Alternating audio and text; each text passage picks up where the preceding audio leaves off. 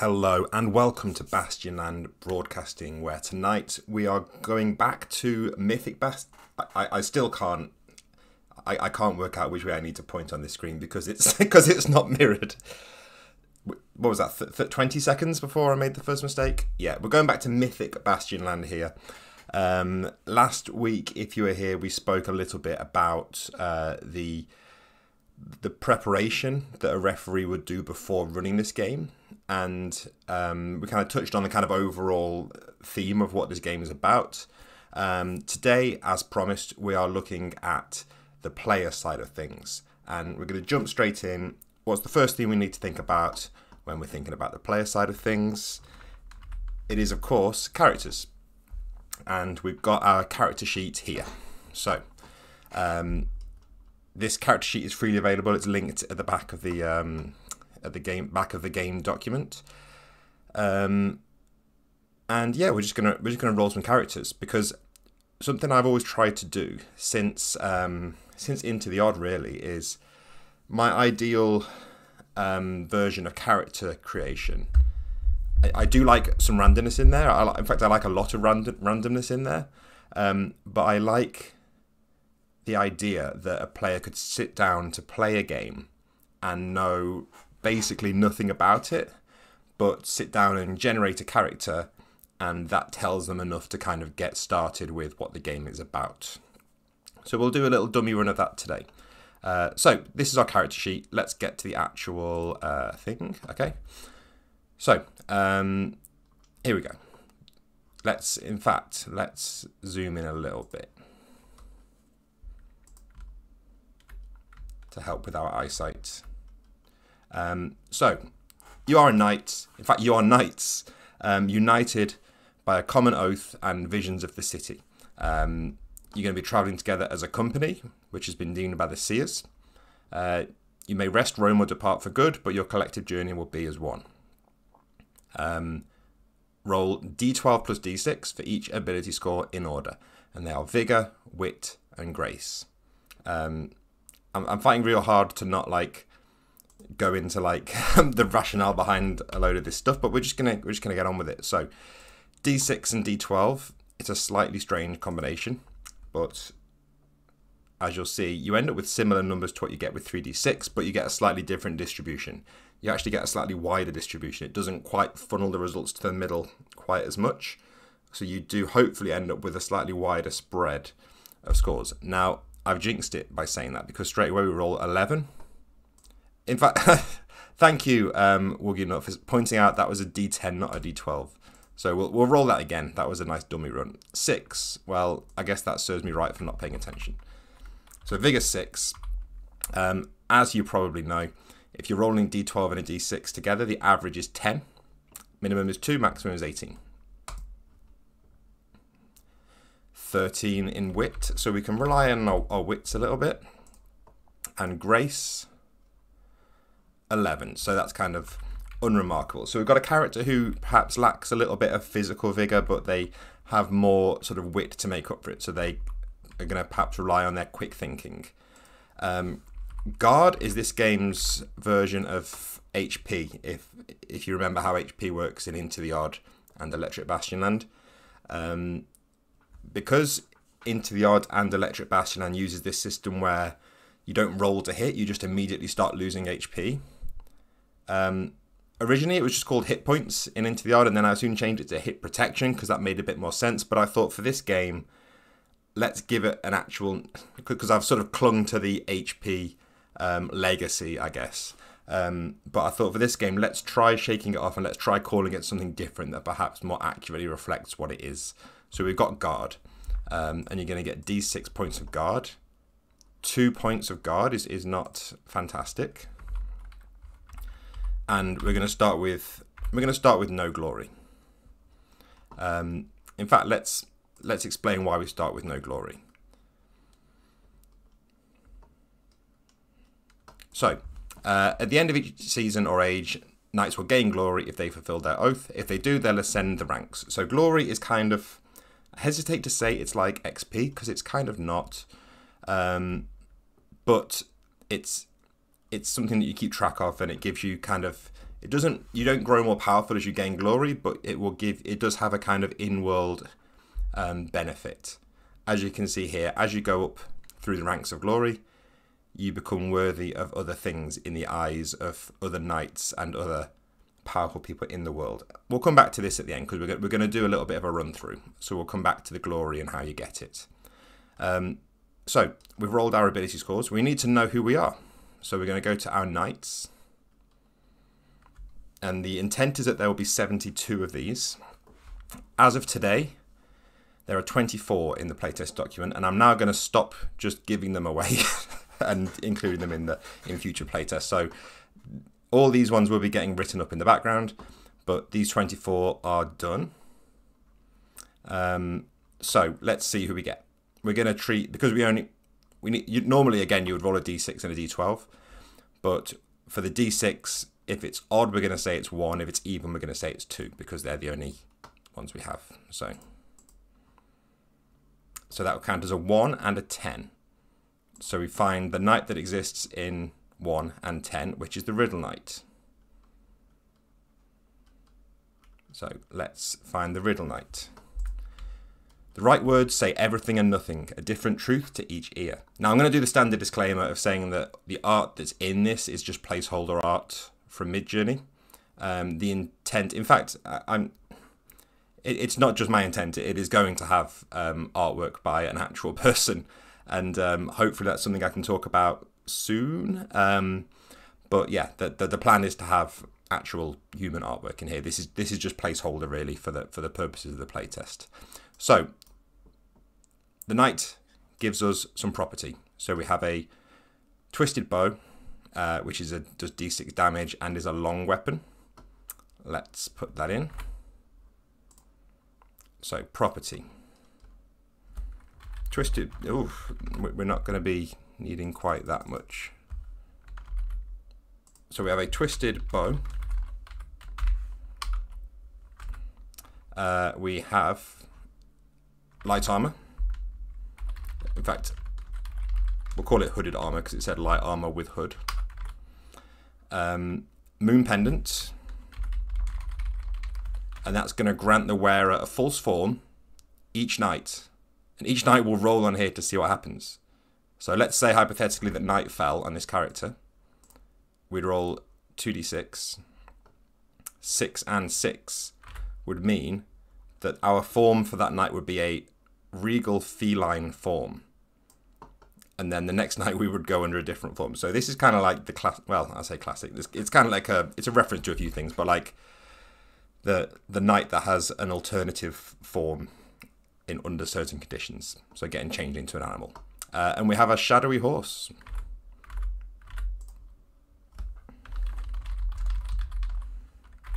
Um, who's, who's very quiet and has some stats of their own. And we have a feat. Now, every knight can perform three feats, and this is one of the big differences from Electric Bastionland. Um, in Electric Bastionland, the characters were kind of like, and Into the Odd actually, the characters were kind of just like desperate losers that became treasure hunters. But in this game, even though you're starting out as like petty knights, you, I wanted them to start with something that made them feel a little bit more heroic, not on the full on like D and D like superhero, um, like fourth edition, you know, high level D and D thing. I, I didn't particularly want that but I just wanted them to have a few little tricks up their sleeve that showed that they were like martially competent, I guess, and a little bit more survivable. So you have these three knightly feats that they can perform. Um, they can smite someone for extra damage, but they'll gain dread, which we'll come back to. They can endure, which means they can take one of the dice rolled against them and get rid of it, or do the same for an ally, but they'll gain an ache. And they can go into a frenzy, which means they attack as if they were a blast weapon, so they can like attack an entire group of people at once. Um, but it's indiscriminate, and you gain shame. Now, this shame, ache, and dread are the other big addition to this game, which is burdens. Um, so, burdens in this game, there are three different types, and when you gain them, each has its own specific way of getting rid of it. So, if you gain an ache, for instance, by using endure. To get rid of that ache, you need to indulge in a selfish vice. and they're kind of left a little bit open to interpretation like that. But there, there, there is going to be some guidance in the book as to what actually is required to do that. Um, I also like that they spell out sad. Uh, as soon as I was messing around with all these words, and as soon as it spelled out sad, I knew I was on something. Um, and if you ever have three or more burdens, so you might have three of the same, you might have three aches or two aches and a dread. When you have three or more, you become exposed. When you're exposed, you can't use any more feats, and your guard goes down to zero effectively. Um, so you are at risk. So don't do it. Basically, having three burdens is really bad. Um, and yeah, that that's the other big difference from Into the Odd uh, and Electric Bastion, and really those those two little additions, really, in terms of the kind of nitty gritty um, basics of of kind of combat in the game. So we've got our stuff, we've got our knightly feats, but what's our special feat? So we have twisted words. So you can speak, but choose two different meanings, as different as you wish, even total opposites. Choose which meaning each listener takes from the words. So if I'm in a room with 20 people, I can say something and I can say, I want these 12 people to interpret what I'm saying as, I don't know, I fully support the king, 100%. And I want the eight people in this corner to interpret it as, I do not support the king. And you can you can kind of some of the feats will cause a um, some of the feats will cause like a burden or have some kind of requirement, but this one you can just do that as often as you, often as you like. So you can kind of mess with people. You can kind of it'll be useful in like court situations. Um, yeah. And so let's let's jot that into the thing. Twisted words. I knew this was to cause me trouble. Twisted words, which is say something. I'm going to write the truncated version. Say something, give it two meanings. And then something that's a pretty new addition as well is the vow. So we have the vow of integrity, which means that we're going to gain an ache whenever we have to defer to somebody unworthy of their position. Um, and one of the questions in the um, in the chat, uh, Constantinopianist um, said, "Is is burden removal purely narrative?" It is, but I I do want to have some real pretty clear guidance in there for the referee because I don't want it to just be checking a box. You know, sometimes like you'll get these some things in certain RPGs. It feels like the players just end up like saying, okay, well, obviously I do this thing because I need to, because I need to tick this box. I don't want it to be like that. I think the idea is they should all require some sort of action or it, should come with a little bit of a cost. So we, we mentioned, um, uh, let's say ache. So we talked about ache. Fact, let's, let's write our vow in first. So integrity, which is gain ache when deferring to person unworthy of their position. So we mentioned ache. Let's say we have to do this. Let's say our character decides um, that they have to kind of defer to someone to keep the peace, but we know that that person is unworthy of their position. So they end up with an ache. Now, indulge in a selfish vice. I think to do that enough to clear the burden, it has to cost you something. So it could be that if some obvious ones are kind of like going out and drinking a load of alcohol or going and having like a massive feast and like indulging in like gluttony and excess. I think to do that it should carry it should leave some kind of like maybe social impact. So like you've you've perhaps offended somebody in this area that you're doing it or you've left like a bit of a loose thread or a mess behind you. Um, so there's going to be a bit of guidance in there uh, in the Oddpocrypha section at the back of the book, there's going to be a bit of guidance on this situation and how to how to actually adjudicate it. So I think that's basically it. So we mentioned age. Um, you can start as older knights. We'll, we'll come back to age, but for now we're going to say that we are a green knight. Not that one. Uh, but we are green in the sense that we are in the green age of our lives, uh, which is any age up to where you feel like you're still kind of learning, still coming up to your prime. Um, mature is kind of the golden years. This is when you're in your prime. Um, however old you are, look in the mirror. That's the age. Um, mature is like you're, you're, you're, you're at your peak, and old is well, we all know where this is going. Old is when you start to go past the peak. Um, and your character will age as, as the game goes on, um, and we'll, we'll talk about that a little, little bit more later on. Of note here, um, it might just be because I'm like in my late 30s, but I, I thought it was funny that I I suggested in this game that characters are in their peak at this kind of mature age, whereas two games that I really dipped into this year are Pendragon and Traveller, Classic Traveller. And I think in Classic Traveller, I think you start to decline after 34 years old. And in Pendragon, I think you start to decline after 35. So this game is just one big um, knee jerk reaction to that horrifying uh, revelation that the, your mid 30s is apparently your, your absolute peak.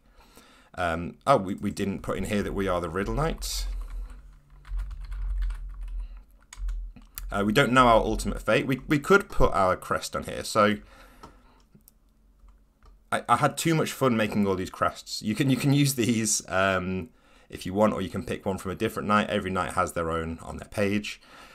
Um, we need a name. There are some names at the bottom here. So Ruan. Ruan feels pretty good. So Ruan, the Riddle Knight, their ultimate fate, who knows? Um, now let's let's do one more because I, I want to get on to actually um, actually running the game. We're going to do like a kind of not not quite a solo game in the traditional sense, but we're going to do like a little bit of a a run through the mechanics as if we are playing it for real. So let's go back to back to the start. So three ability scores. We have 12 for vigor, 10 for wit, and 15 for grace.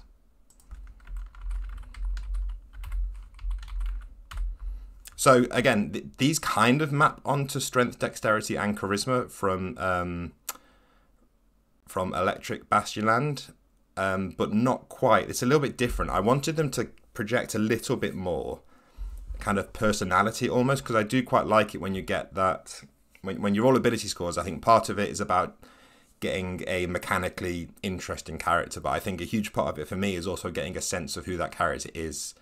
Um, you know, the, the classic example is when you roll a character with a really high or really low charisma, it gives you something um, something to kind of work with on there. Um, I can see loads of questions coming in, by the way. I will get to them. I'm gonna I'm gonna roll the rest of this knight up, and then we'll uh, we'll get to those questions.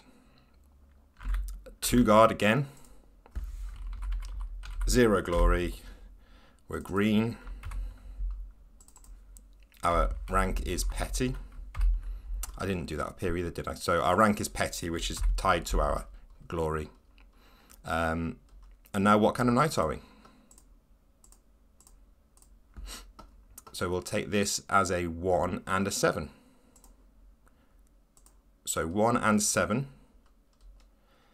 gives us the Willow Knight.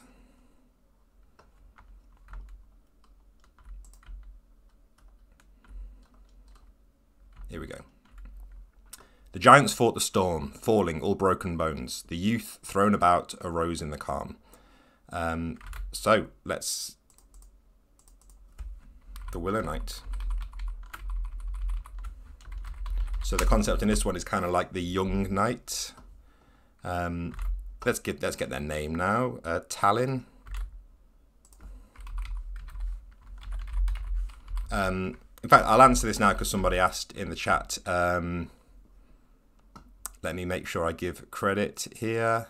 Um, uh, Cryfex said, "Are the crests necessarily connected to the knight on the same page?" This is one of those questions where no matter what I say, it's up to you. Um, they they are. I, I chose ones that would would fit okay if you wanted to. Some of them fit like quite obviously, um, but you can still just use it as a general bank of like crests. So if you meet another knight as an NPC, you can just flick to one of these pages and take that crest if you just need a crest all of a sudden. Um, so the Willow Knight, we have an old sword,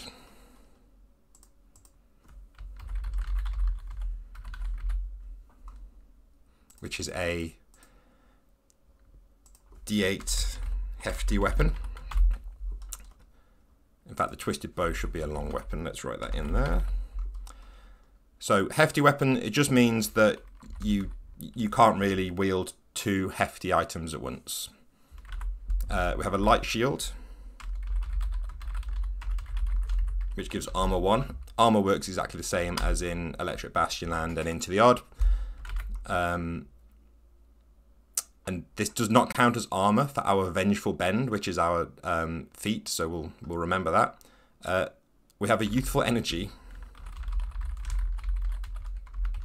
Use once to treat a mortal wound as a normal wound.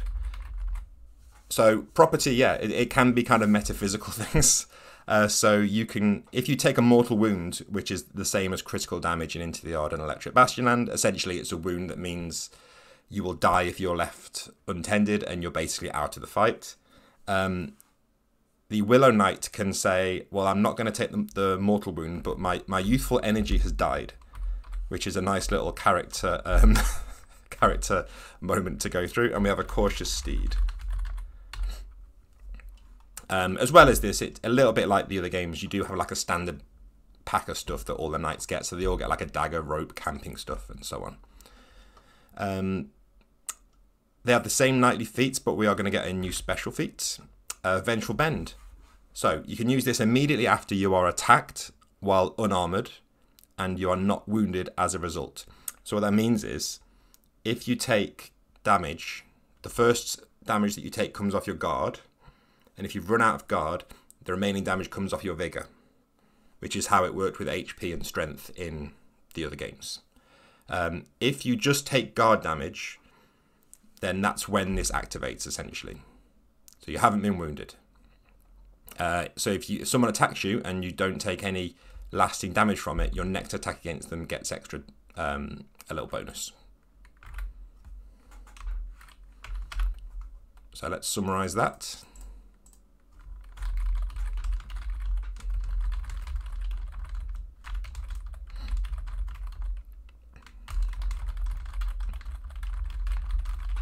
We go. And our vow is doubt. So you're going to gain dread when you have to confront somebody senior to you.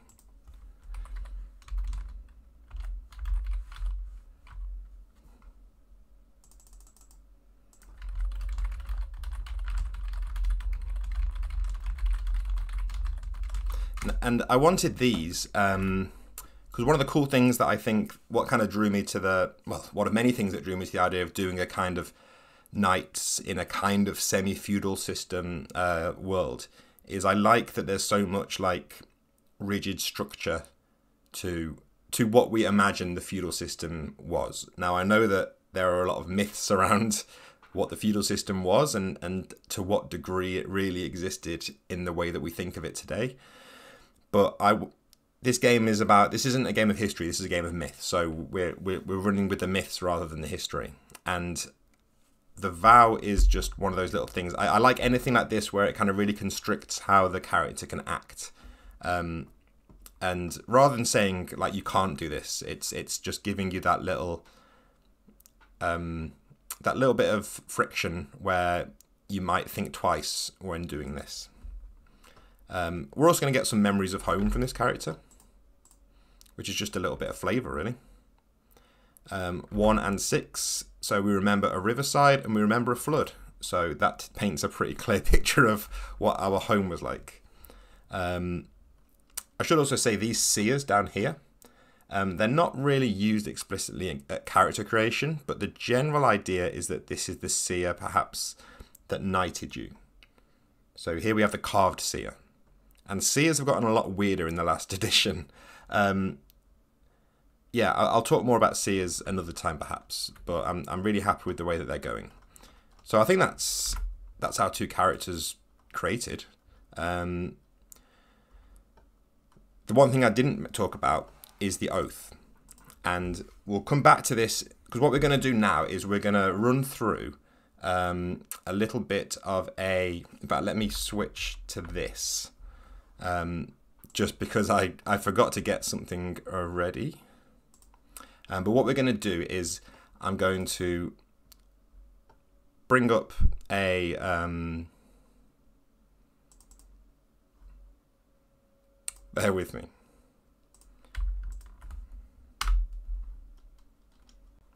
We're going to bring up a map.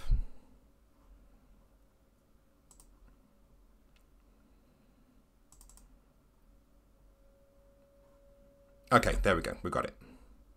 Um, I'm going to bring up a map because what we're going to do is we're going to, like I said before, we're going to just kind of like run through a a brief kind of like almost like example of play really to see how this game actually works once you actually once you actually start playing it. So let's get my view back up. So we have this, um, which is a realm map that I made this week. It's not the one that I made last week because um, I've also been tinkering around with the ones I've been doing have mainly been at landlocked, but I really like the idea of having like a kind of island realm. So this one's a little bit different. This was made using HexKit. Um, and what we're going to do is we're going to run through this as a kind of like example of play. And we're going to say, let's say that our character uh, our characters rather, our two knights. Let's say we've arrived in the realm. Let's say we've arrived on a boat, and we have arrived in this hex here. So we'll, we'll, we'll zoom straight in because we're going to be kind of focusing in on one sort of area of the realm. Um, this forest hex here, we're going to say that we are here. Now, as I said, what are we doing here? We are fulfilling our oath. And our oath has three parts. As a knight, we are sworn to protect the weak, who are the vassals who toil and rely on our sword. We swore to seek the myths, which are stories that must be manifested into reality. And we swore to honour the seers, those who glimpse our past and future. So, at the end of every season, which we'll come back to. But a season is what it sounds like. It's it's one of the three seasons of the year in this world. Um, at the end of the season, you're going to decide. Each individual player is going to decide how many of these three um, parts of the oath have you fulfilled, and it's entirely down to you as the player. The referee can talk about it with you, and you can talk about it with the rest of the group. But ultimately, you will decide, and you will say, you know what, I think I have protected the weak I think I have sought out myths, but I don't know if I've honored the seers because I did I didn't do what one of the seers asked me to do. So in that case, you would gain two glory, and that is where this uh, glory, wherever it's gone, this glory table comes in, because as you ascend through the ranks of glory, you will gain like a new, a nice little title, but also things like being worthy of leading a warband, or being worthy of a place in court, or being worthy of commanding an army, of ruling a holding, perhaps ruling the seat of power, which is the entire realm, and eventually becoming worthy of the city quest, which is kind of the end game goal of any knight. Uh, and it's it's impossible. No, no, knight can ever complete the city quest, or maybe they can. Um, so that's what we're trying to do. So as a new knight here, we could just go wandering around hoping we bump into some myths. But um, one of the best ways to find out about myths is to go and talk to someone who lives here. Um, because they will be able to tell you what to expect from these myths and they will be able to maybe help you help you avoid some of the more dangerous elements of the myths. Um, so if we are here, a day is split into three phases there is morning, there is afternoon, and there is night. And traveling without a route is called hiking. And if you're traveling without a route or traveling on foot, um, you're just kind of hiking through. It's going to take you an entire phase of the day to move just one hex. Because, like we discussed last week, a hex is a hex league. It's it's quite a huge area. It's it's sort of the area that can be viewed from on top of a hill or a, or a tall fort. So what we might want to do is we might want to head towards this area over here, which is what's called a Shire Hex.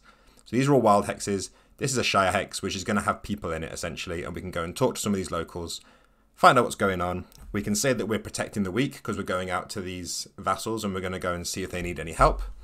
And perhaps we'll even find out where um, where the nearest seer is. The seers tend to live in the holdings, which are these bigger anything that's labelled with a with a letter on this map.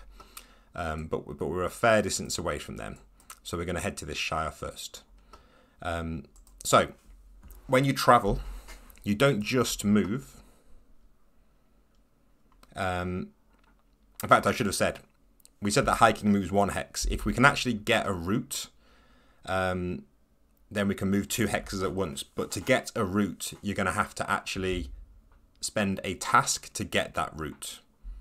And a task is, if you think about a turn in combat being like you can move and do an action, a task is kind of that on the the bigger scale of traveling across the hex map. So a, a, task is something you can do as you are traveling across the realm. So we can move and do a task at the same time. Some typical tasks are things like setting up camp, um, because you don't want to be traveling at night. Um, plotting a route. Um, it typically involves finding a guide or a vantage point. Um, and you, you can't rely on this route forever. It's just kind of a temporary thing. So maybe we'll do that. Maybe we'll lead with a task. Now, we're going to do a bit of a, a, simplified version of this because normally you'd be doing this as a conversation with the referee and the other players. So we're going to do a bit of a dry mechanical version of it. So we could say, we're going to try and find a route towards this Shire Hex, which we know to be here. Um, and to do that, we're going to just scour around this forest. And we're going to... Well, do we want to split up? We have to kind of say what we're doing. And I think since there's no guide around here, um, perhaps we want to just like try and find a vantage point. So we're going to try and find somewhere we can see, just to see if there's like a river we can follow or a trail or anything like that. Now, typically when you're out doing things like this in the wild, there is going to be an element of risk to it. Um, there is a procedure in here that helps the referee decide how you adjudicate that risk, but we're just going to cut to the chase and we're going to say, you know what, we're going to say this is a risky area, so we're going to need to make a save. So we can choose which of our knights is taking the lead on this task, and they're going to have to make a save, which is rolling equal or under to your ability score. Um, I think trying to find a route is kind of relying on your wit because wit kind of, wit kind of covers sensory challenges. It's also like quick thinking and like awareness of your surroundings. So I think wit is kind of what we're looking at here. So out of our two knights, I think our riddle knight had much better wit score. So they're going to roll a save. So we need to get uh, 13 or less. We fail. Now, that's good because failing is more interesting than succeeding when it comes to the rules because it says here, even if you fail the save, the task might still be achievable, but now it faces an obstacle or additional cost. Uh, consider using complication prompts. Yeah, they're at the bottom of each page. Or give them a burden. Um, while the cause and consequence of the failure can be personal, they can also represent the whims of nature, bad weather, shifting landscapes. So you know what? We're going to say as the referee, perhaps I might go to a prompt. So we're going to pick to a random spread. Let's say this one. And we're going to look down here for where's complication. Uh, descent needed. So we're going to say that we have found a trail that would allow us to move quite quickly all the way up to this lighter patch of forest but to get there, you kind of have to scale down this sheer cliff and it's going to be hard work. So if we decide to do that, uh, maybe they're both going to take an ache. And I think they decide, you know what, we really want to get going. Uh, we're going to do that. So our knights decide they will take the ache. So we'll give each of them one ache. It's fine. We, we can indulge in a little bit of uh, a little bit of our vices when we get to this uh, Shire. Um, but now we have a route. So rather than just moving one hex, we can move two. So they're going to go dunk dunk. And we are now here. Um, we've marched through all this kind of dry uh, moorland, and we eventually get through to this kind of lighter forested area as we move into the afternoon. Now, whenever you end a phase of movement in a wild hex, you need to make a very creatively named. Can you imagine what this roll is called? It's called the wild hex roll, which is here. It's uh, it'll look familiar if you've seen like look rolls from any of the other uh, games. Um, and essentially, it's kind of like your reaction table. And for the most part, rolling a four, or four, five, or six means you're going to be all clear, but it will punish you for traveling at winter and traveling at night. But we're not. We're going to say it's. We'll say it's uh, spring, and uh, it's it's morning, so that's not going to affect us. If if we can get a four plus, it's all clear. If we get two or three, we'll encounter an omen from the nearest myth. If we can roll a one, we'll get an omen from a random myth. So let's see what we actually get. One. So a one means we're going to encounter an omen from a random myth in this um, in this realm. And if we roll a die, we can see we're going to encounter myth number six, which on this map is actually all the way down here. Um, and for the purposes of keeping things simple, I'm using myths 1 to 6 from the start of the book. Um, but there will be 72 of these myths to choose from for your realm. So even though we're all the way up here, occasionally you will encounter omens of more distant myths, but you will much more likely encounter uh, omens from the nearest myth to you in your area. So yeah, number six. So what's myth number six? Uh, it's the goblin. This guy. On toes it crept just out of sight, the petty hoarder full of spite. Their cleverness the goblin, lord of all lost things. Um, so, again, this would be described much more like an actual RPG rather than the very mechanical, dry thing we're doing now. Uh, so we would encounter on our way a weeping huntsman, uh, cursing everyone, looking for his lost bloodhound who tended to him during injury. So you're going to get lots of these situations where it's like, well, now do we stick around and help this guy because we did pledge to protect the weak. This guy seems pretty weak. Um, but whatever we decide to do, we're always going to encounter these omens in order. So next time we get an omen from the goblin, it will be this thing. Next time after that, it will be number three, and so on until we get to number six, which is normally quite kind of climactic. So let's pretend that they that they resolve this situation. We don't especially need to to go into detail, but it is now the afternoon, and our knights are here. So because we're just one hex away from the Shire, we don't need to worry about finding a route. Um, so we'll just travel there.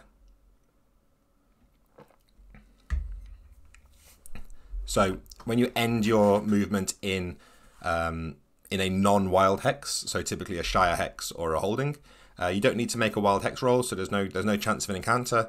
And going here, we can kind of like um, we can spend a little bit of time. We don't need to worry about setting up camp. It's assumed that you're going to get hospitality. Again, you would role play all this out. Um, but yeah, that's it's it's kind of a little bit of a safe haven. But as you can see, they are kind of spread quite far apart. So from here, if we want to find anyone actually important, we kind of want to be getting to one of these holdings, either A, which is the seat of power, or C, which is another holding. Um, from the referee's point of view, you might think, well, how, how do I improvise what's in this holding? And again, that's, sorry, what's in this Shire hex, not what's in this holding. Well, you can just go to your uh, your prompts again. So we can see you've got a landscape, oppressive woods. The building is a ruined watchtower. The place name is Byfield. So maybe this is a little village built around a ruined watchtower, and the woods are kind of growing in over this. Um, theme is healing, so maybe there's maybe they need healing. Maybe there's someone there who's able to offer healing, which is a useful person to have. Um, you got people, you got characteristics, and again, you don't need to choose all the same ones from the same spread. You can mix it up. You could take the building from this one. You could take the theme from this one. So the theme here is food. You take food and healing, it's it's more just little sparks to kind of get the ball rolling. And again, there will be like 72 of these. So we're at this holding. We're going to camp out for the night. No, we're not going to camp out. We're just going to enjoy some nice hospitality. And um, there's no need to make any rolls. We get um, a night's rest in a bed. Now, if we go back to the travel rules,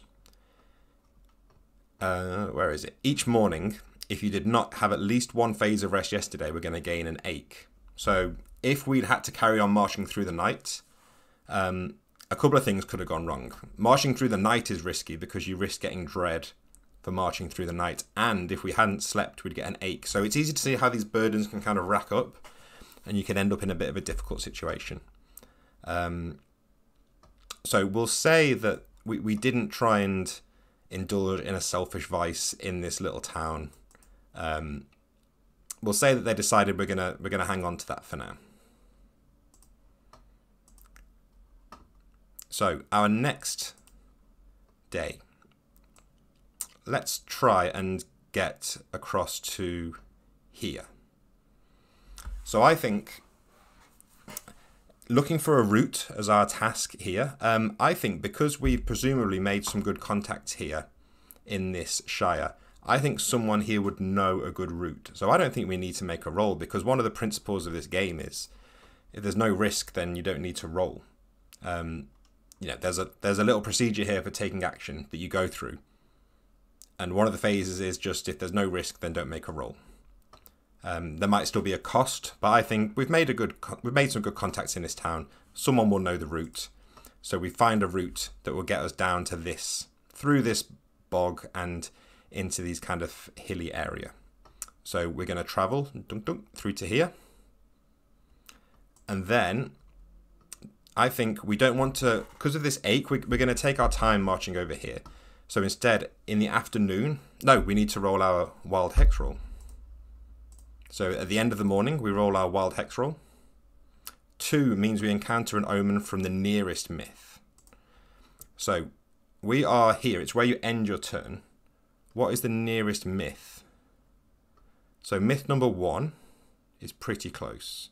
One, two, three, four, five, six, seven, eight, seven, sorry. You know what? I think it's between one and two. Um, for the sake of simplicity, I think we'll say number one. I could count it out, but it doesn't make for especially gripping viewing. So if one was our nearest uh, myth, we will encounter the next omen from, oh no, it's the plague. Um, a wandering old coot proclaims their dreams, where foul air was choking people in their sleep. He pleads for help in spreading the word. Um, so again, we would role play that out. We would determine what we decide to do there and all this is going to come back to be in our memory when we decide whether or not we fulfilled our oath. But that, that's not too bad of an omen to get. They do tend to start off quite nice and gentle. Um, so we've ended our morning here. Now it's afternoon. So at the end of this phase, it's going to be uh, night. So we would like to make sure we set up camp. Um, so when we're traveling here, we'll probably want to spend our task setting up camp which again might come with a save, uh, which if we fail it, it might grant a burden, or it might cause some other kind of cost, or it might put complication between us and the camping. And that's kind of the basics of traveling. I'm not going to like march us all the way across the map, but that's the general kind of procedure for how traveling works in this game. Um, combat is very similar to Into the Odd and Electric Bastionland in many ways. Um, so I'm not going to go too far into that. Um, what we will do now is we will pretend that we've had a bit of a session. And let's say um, we know that guard guard is recovered at the end of a fight. So at the end of a session, our guard is going to be full. But let's say that Ruan has taken. Um, let's say they've taken a little bit of vigor damage. Let's say they're down to two out of six vigor. Um, and let's say we're taken let's say we're taking another ache. Um, and then let's say that um, Tallinn, let's say that they also managed to get a shame from something they did. Um, and let's say yeah, let's say they took a little bit of vigor damage as well. Let's say they just took two points of vigor damage. So at the end of a session, you might look like this. Now, what you could do is next session, you could say, well, we're just going to carry on from where we finished. And there's actually a little bit of guidance here. So at the end of a session, you can say how much time is going to pass before next week's game. You could have minimal minimal time where you just carry on, um, but this game is really intended to take place over a longer time. So I'd really encourage groups to sort of take a take a longer view on it and say at the very least, like maybe weeks has passed. So we're going to move on to the next significant event in the season. So seeing as we're in spring, um, our first session might have taken place in, during the Feast of the Stars. Um, but then we might be moving into the toil, which is kind of the fasting period of this world. Um, but you can say, well, if months are going to pass, we can move on to the next season. And moving on to the next season is good because you get to restore all of your abilities. So all of your lost vigor. Um, in general, that in in in other games, like you can restore your lost strength with like some significant period of rest, but here it has to be like a season. Uh, so that vigor score, if you want to get that back, you have to say, well, we're going to find a place to hunker down for the season. Um, and let's say that we decided we're going to move so that the next game will take place in the harvest season because there's only three seasons in this world. Um, so we would restore our vigor.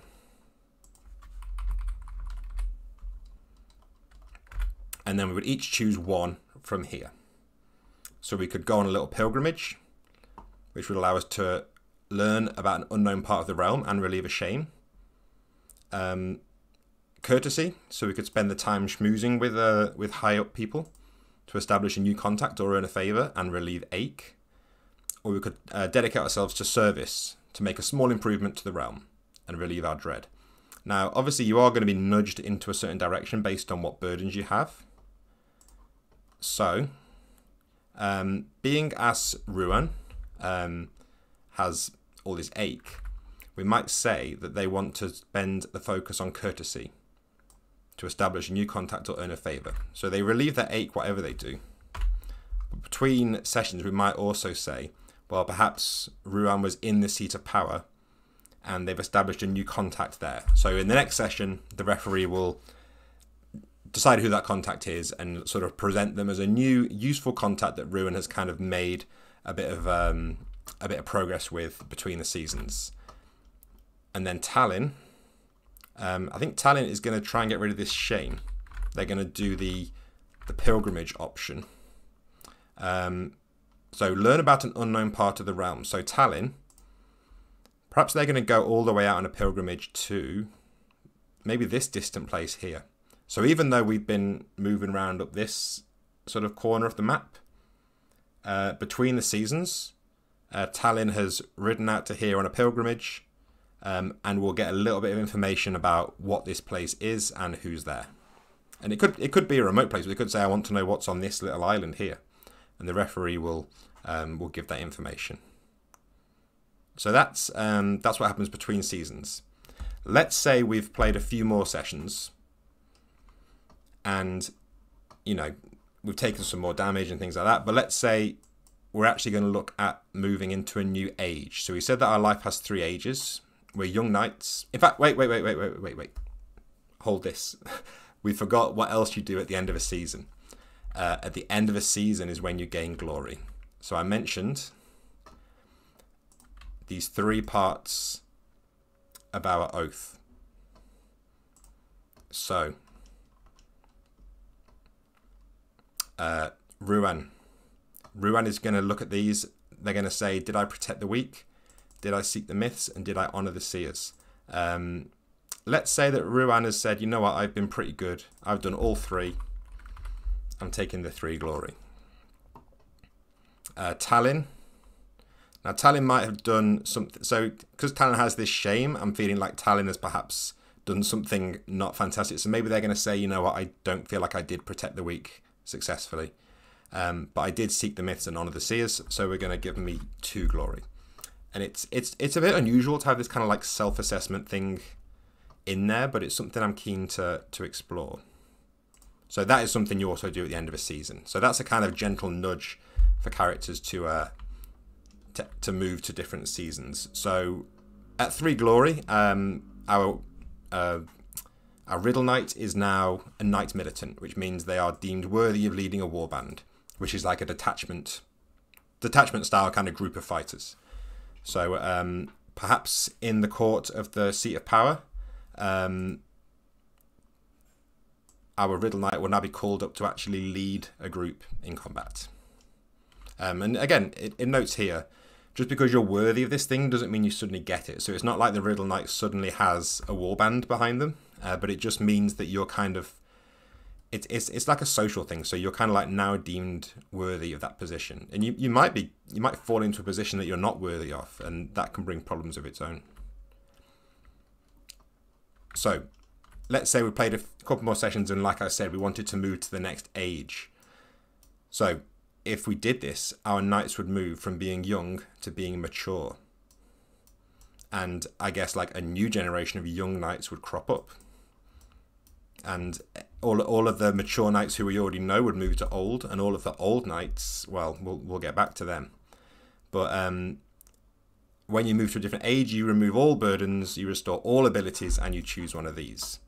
So let's get rid of our burdens because you know an age is like at a very rough level. We're probably talking like twenty years, but it, it's like a generation, really. Um, so we could choose legacy to establish a successor. So perhaps we get like a squire. That'd be pretty cool. So you know what? I think it'd be a cool thing to do that if Talin, who was our Willow Knight, who was our young, youthful knight, perhaps they have taken on a squire who they're going to train up as their successor. And there's, there's rules in there for generating squires, but we won't go down that. Um, duty, we can make a significant improvement to the realm, or mastery, you can learn a feat from a senior knight you have proven yourself to. So perhaps Talin, um, feeling a sense of duty. Perhaps they're still feeling a little bit of shame over feeling like they hadn't properly protected um, the the weak. Perhaps their duty is they're gonna fortify this town. Perhaps this is where they kind of ran into trouble. Um, they're going to dedicate themselves to fortifying this town, and perhaps this actually becomes a holding and it becomes more of a fortress. Um, if you have unresolved situations, you can see what's happening with them, um, which is just a handy little table to have. Um, but the other thing that happens when you move into your new age is when you become mature, you basically re-roll all your ability scores and keep them if they are higher. Um, when you become old, the opposite happens. You roll them again and keep them if they're lower. And if you're already old and you move into a new season, you lose D, D12 vigor. And obviously, when you reach zero vigor, that's it for that character. They are. Well, I guess if, if you make it to that point and you die, then at least you died of old age, which is a pretty good, pretty good um, innings for this kind of character. So we'll, we'll, we'll do those again. So our mature version of Ruan. Because this can create some interesting little moments. So uh, his Vigor is now 11 because that's higher than 6. So wit, if it's higher than 13, no, wit stays the same.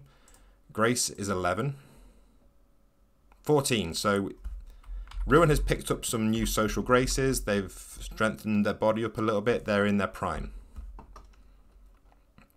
Um, Talin, what does the mature version of Talin look like? So Talin's already got pretty good scores, so they, they might actually not change at all in that sense.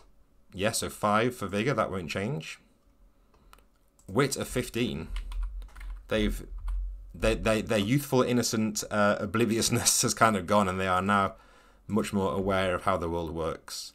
And Grace 12 is going to stay the same. So they're going to get. You, you can get these weird situations where you roll a character with like Vigor 2 when they're green, and then you suddenly get them up to like Vigor 18 um, it can happen, and I think I like those kind of situations because they force you to get a bit creative and work out. Well, what does that mean that that's happened? Um, how could this possibly have happened?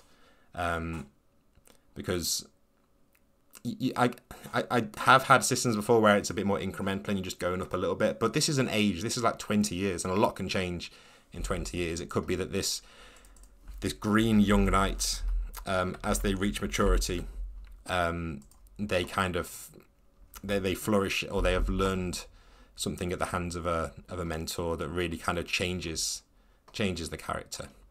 Um, so that is kind of the basics of how the game sort of works as a whole. We've got our traveling around the realm. Um, I didn't go into the combat because if you play it into the Odd Electric Bastionland it's similar, there are some differences. Um, there are some differences in the way that like weapons and armor work slightly, but it's all kind of the same as what you'd expect. Um, certainly from Electric Bastionland, it's, it's it's closest to that one in terms of how the the actual nitty gritty of combat works. Um, I'm just going to look back over the questions because I did see there were a couple in there. Um,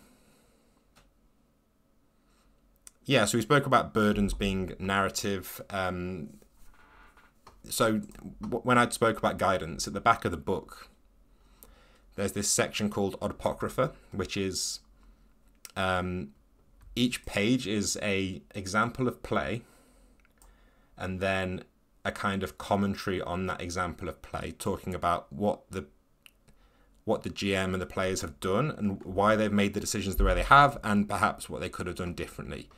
And there's going to be a lot of these because I think this is an interesting way of looking at some stuff that like games don't often talk about, like getting stuck, of just like when you when you don't know what to do next or getting rules wrong. Uh, and relieving burdens is one that I haven't written yet, but it is on the list. I'm going to have some guidance here for what does it actually look like to relieve a burden and what's the kind of intent behind that rule. Uh, yeah, Cryfex, when I, when I was talking about having the burden should kind of have a cost, uh, sleeping with someone's wife could be a good example. Absolutely. Um, that's sure, sure to create more problems than it solves, perhaps. Um, Sam Sam Dobler says ship rules. Um, not really, not yet. I mean, there are that the, there's like a stats for ships. Uh, the the good thing about this kind of this kind of era is that I think ships. When I think about ships in a kind of early medieval Arthurian myth kind of era, ships are basically just like moving places to jump over and fight with swords. So I don't think it needs to have necessarily uh, lots of rules for um, like ship to ship. Like obviously there's no guns, um, but there, there there are a few things on here. You've got like some stats for some different types of ship and how much they carry. And um, in terms of traveling, traveling by ship is the best way to do it because we said that hiking lets you move one hex, and traveling on a horse along a known route is going to be two hexes but traveling along a waterway or on the ocean is going to be three hexes. Um, so really getting a boat all the way from like here all the way around to this holding is probably like the best way of doing it. But is it very knightly? Are you fulfilling your knightly oath of seeking the myths and protecting the weak if you just decide to coast around on a boat uh, all day? I don't know. That, that's for you to decide. Um, yeah, um, I, th- I think that's that's basically all of the. Um... Oh, no, so Patrick Benjamin asks, uh, can old age allow players to lose one from strength and add one to charisma or wit?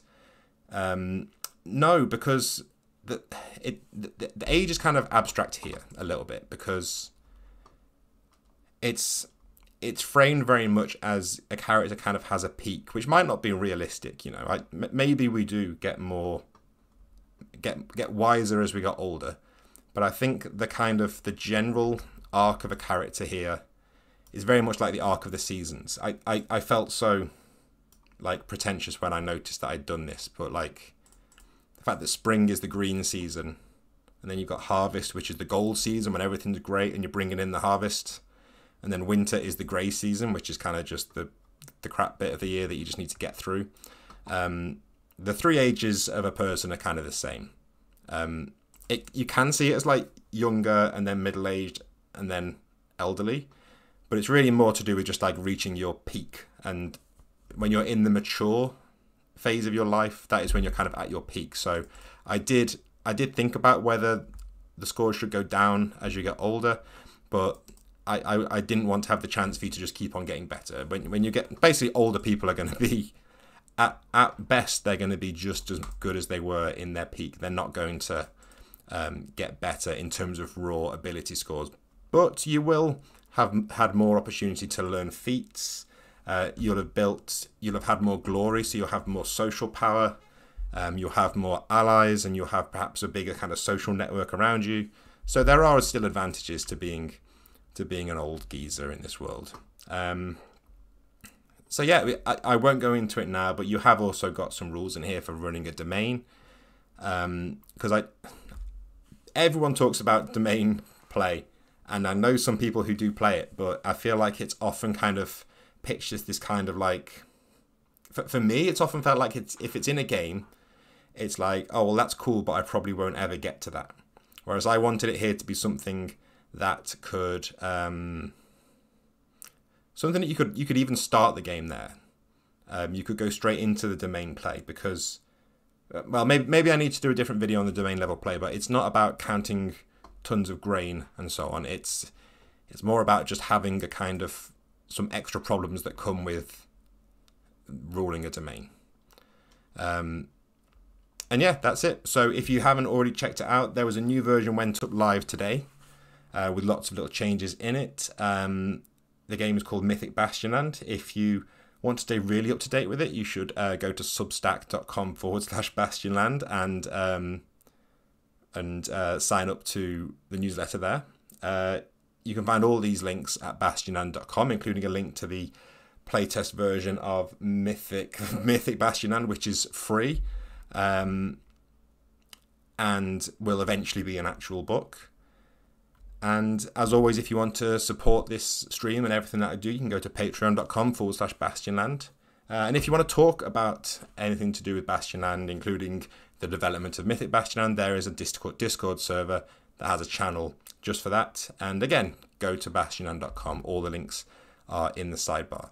Um, Cryfex asked a very good question, uh, which is um, with the older characters being the ones that have the highest glory, wouldn't it make it that old characters are the ones most likely to be pursuing the city?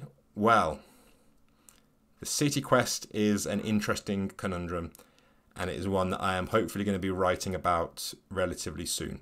Um, but you are kind of onto something, yes. Um, but that that whole area is quite quite vague at the minute. But I've got some ideas around that.